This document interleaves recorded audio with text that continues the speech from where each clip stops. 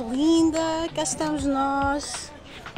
Maravilhas do domingo são precisamente estas: é que não há horários, normalmente durante a semana tenho os horários todos muito rigorosos, tenho que sair para treinar bastante cedo, porque às duas horas há que estar a trabalhar e hoje estou a desfrutar Já tenho hora e meia meu de treino. domingo. Vim aqui pela Nacional Já tenho hora e meia de treino. 205, direção a Cabeceiras de Basto, Guimarães, Cabeceiras de Basto.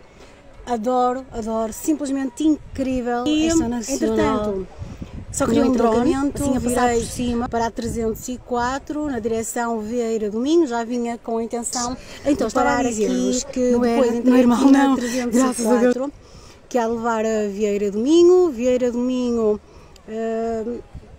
A Jerez e Jerez será voltar à Póvoa Lanhoso e Póvoa Lanhoso subir por eh, Garfe, direção a Gonça até Santo Turcato. Quem esteve atento ao JN, à etapa de JN, a etapa Guimarães-Guimarães, exatamente, é esse Virei para o a 304 circuito que eu estou a fazer. Estou aqui Na para quem eu fiz também não conhece ou para quem conhece e quer vir revisitar. Sim, eu estou oferta aqui no Hermal. e esta um é incrível, muito, muito Ilha do Hermal.